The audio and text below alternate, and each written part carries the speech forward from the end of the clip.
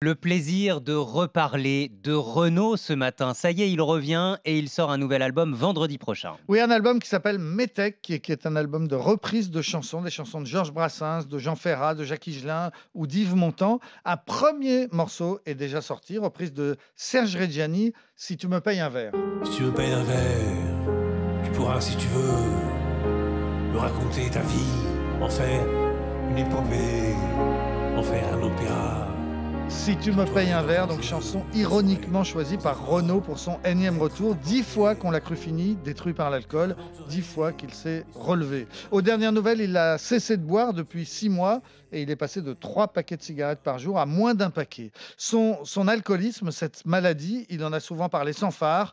Il boit, dit-il, pour oublier qu'il n'est pas bien dans sa couenne, qu'il a des psychoses, des angoisses, qu'il a constamment l'impression d'être persécuté, suivi ou écouté par des gens qui lui ve- veulent du mal. Sa seconde femme, Romane Serda, a confirmé une fois dans une interview à Match qu'il est souvent victime de crises de parano, convaincu d'être espionné par les soviétiques. Ah oui, tout de même. Fragile donc ce, ce Renaud d'aujourd'hui, mais on s'en souvient encore pour son immense succès dans les années 80-90, Nicolas. 26 albums, 20 millions de disques vendus pour ce Titi parisien, moitié anard, moitié voyou. Il n'a quasiment jamais quitté son 14e arrondissement natal, toujours vécu entre la porte d'Orléans et Montparnasse. Mauvais élève, viré du lycée Montaigne, alors que pourtant son père y était prof d'allemand. Il a essayé à ce moment-là la comédie. Il a joué avec la bande du Café de la Gare, Coluche, Miu Miu ou Patrick Devers. Et puis, avec un copain accordéoniste, il chante dans la rue des chansons de Bruant et de Balmusette. Un producteur le repère, lui propose de se produire en première partie de Coluche. La toute première chanson, c'était L'Hexagone, le roi des cons sur son trône. On peut être sûr qu'il est français. La France est un pays de flics, à tous les coins de rue, y en a cent. Pour faire régner l'ordre public, ils assassinent impunément.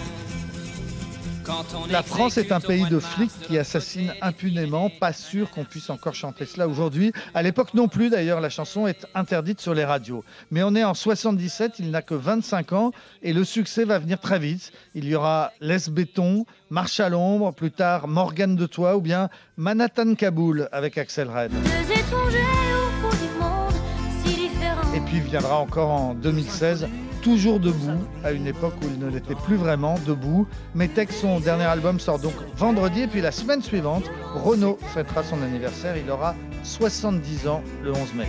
Deux étrangers au bout du monde, si différents.